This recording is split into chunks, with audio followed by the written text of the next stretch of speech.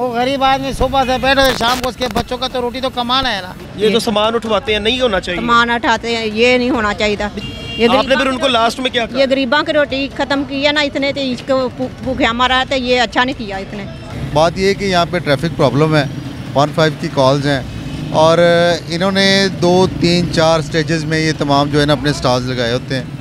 अच्छा नाजरीन इस साइड पे अभी आप देख सकते हैं ये सारे यहाँ पे स्टॉल्स होते हैं। इनको भी यहाँ से उठा दिया गया है। इसी तरह घूम के आपको उस साइड नज़ारा करवाऊँगा तो देखिए जी, वहाँ से भी बिल्कुल ये रोड अब काफ़ी खुला हो चुका हुआ है। सारा रोड जनाब खुला हो गया है। डी साहब का भी मौकफ इस पर लेंगे, उनसे तफसीलन हम बात करेंगे, लेकिन अभी आपको दिखाने का अब मकसद ये कि आप देखेंगे, ज़िंदगी में पहली दफ़ा इतना साफ़ ऑल रोड मैं तो देख रहा हूँ। कोई यहाँ पे आप स्टॉल का नामो निशान नहीं है, कोई स्टॉल वगैरह नहीं लगा हुआ। सारे के सारे स्टॉल्स के साथ लोग भी गायब हो चुके हैं। तो हम उनसे बात करने की कोशिश करेंगे दोबारा से। कि भाई हमसे थोड़ा सा बात कर लें, हमारे मौक़ हमें दे दें, हमें बता दें। मतलब कि यहाँ पे सालों से स्टॉल्स लग रहे हैं।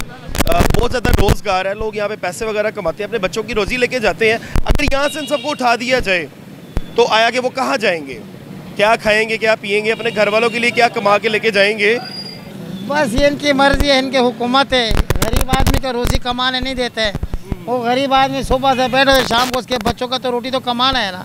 कितना कमा लेते हैं कुछ भी नहीं कमा एक रुपए भी नहीं कमा मेरे साथ बच्चे हैं। कराया था मकान है आठ हज़ार का बिल आया अभी खुदा की कसम।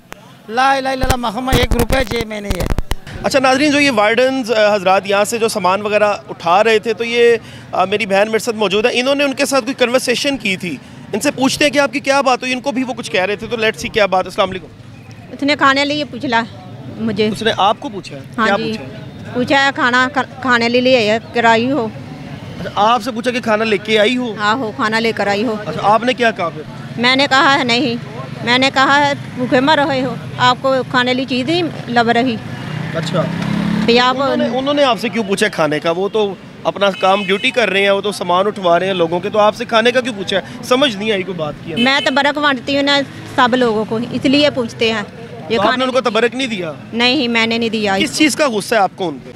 ये इसलिए गुस्सा है मरे हमारे मरीदा को तो ये तांग करते हैं। ये तो सामान उठवाते हैं नहीं होना चाहिए। सामान उठाते हैं ये नहीं होना चाहिए। था बेचारे गरीब लगे हुए हैं रोजी उनकी ये अल्लाह पाक भी नहीं मंजूर कर सकता तो मैं कैसे मंजूर करूँ पहले बताओ? ये पूरी टीम आई है उन्होंने आगे सफाया करवा दिया सारा। क्या होता सफाया ऐसा नहीं होता।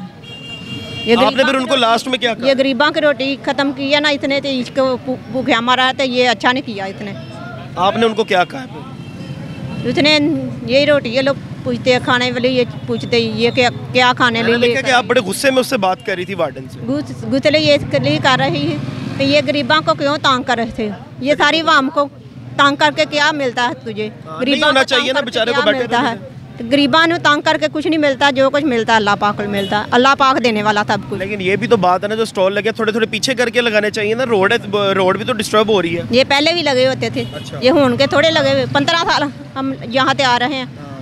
पंद्रह साल हो गए हैं तो किस तरह उठ सकते हैं? आप तो नहीं ना जा सकते ये बेचारे रोजी कमा रहे नहीं जा सकते हैं। अल्लाह पाक ने मुझे ज़मीन दी है सब हर पासे रास्ता दिया चले जी ज़बरदस्त हो गया जी वार्डन वालों के साथ ये कन्वर्सेशन थी कि वो कह रहे थे कोई तबरक वगैरह लेके आई हो। तो उन्होंने कहा कि है तो सही लेकिन तुम्हें मैं नहीं दूँगी। ज़ाहिर गुस्सा है कि जैसे आप उठवा रहे हैं सब लोग बेचारों की रोज़ी पे आप टांग मार रहे हैं। लेकिन वो लोगों से जब बात करें अभी डीएसपी साहब के पास जाएँगे इसके बाद उनका जो मौकफ चलेगा देखिएगा। उन्होंने भी यही कहा है।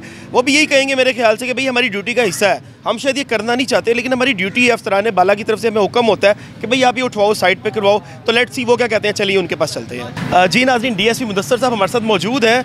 आपने देखा कि यहाँ पे इलीगल जो स्टॉल्स हैं, ज़ाहिर है यहाँ पे ट्रैफ़िक का बहुत ज़्यादा मामला होता है। ट्रैफ़िक यहाँ पे ज़्यादातर ब्लॉक रहती है और लोग जो है वो बहुत ज़्यादा परेशानी का शिकार होते हैं। तो इन इन लोगों को हटाना एक ज़िम्मेदारी है। पुलिस की, पुलिस अपनी ज़िम्मेदारी पूरी कर रही है। हम इनसे बात करेंगे कि उन लोगों की भी बातें आपने सुनी कि वो लोग भी बड़े परेशानी का शिकार थे, लेकिन है इलीगल एक्टिविटी जो नहीं होनी चाहिए। असल सर जी वालेकुम सर कैसे हैं? जी शुक्र अल्लाह का। अच्छा सर जो ये स्टॉल्स वगैरह लगे होते हैं जो इलीगल स्टॉल्स होते हैं इसके लिए स्पेस इशू बहुत ज़्यादा होता है। ट्रैफ़िक बहुत ज़्यादा मुतासर होती है लेकिन ये लोग कहते हैं कि भाई हमारा रोज़गार है हम ये ना करें तो हम कहाँ जाएँ?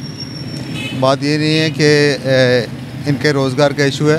बात ये है कि यहाँ पर ट्रैफ़िक प्रॉब्लम है वन फाइव की कॉल्स हैं और इन्होंने दो तीन चार स्टेजेस में ये तमाम जो है ना अपने स्टॉल्स लगाए होते हैं जो कि ये जो रोड है इसको बहुत ज़्यादा कंजस्टेड कर देता है।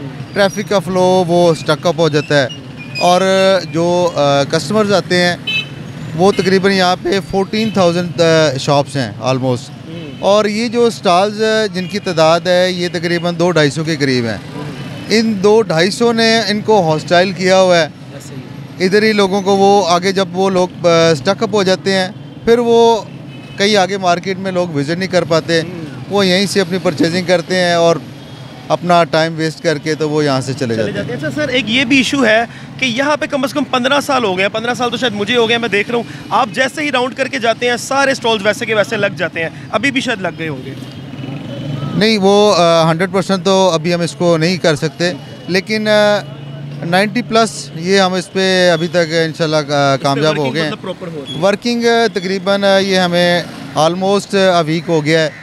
कि हम भी, हम इस पर कंटिन्यूस जो है ना वो वर्क कर रहे हैं। और हमारे साथ जो कॉरपोरेशन का हमला है, वो भी इसमें शामिल रहा है। दो जॉइंट ऑपरेशन हम उनके साथ किए हैं, आज भी उनकी टीम आई हुई है तो इसको हम दोबारा इन से ज़्यादा ऑर्गेनाइज तरीके से इसको मैनेज करेंगे। थैंक यू सो मच जी भाई। अच्छा नाज़रीन आपने देखा कि ये मुख्तसर सी बात थी इसमें आपको समझाना ज़रूरी था कि जो इलीगल स्टॉलिंग होती है इसकी वजह से रोड बहुत ज़्यादा कंजस्ट हो जाती है जिसकी वजह से जो कस्टमर्स हैं उनको बहुत ज़्यादा परेशानी का सामना होता है। वन फाइव की कॉल्स भी होती हैं और जो दुकानें हैं जो लाखों रुपया किराया दे रहे हैं इन ये लोग बेचारे वेले बैठे रहते हैं, क्योंकि स्टॉल्स बहुत ज़्यादा होते हैं। और दूसरी बात ये है कि जो स्टॉल्स होते हैं, बिल्कुल दरमियान में लगाते हैं रोड के।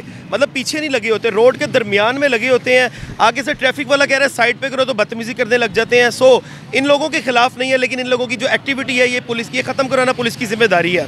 अपने मेज़बान को दीजिए इजाज़त, अल्लाह निगे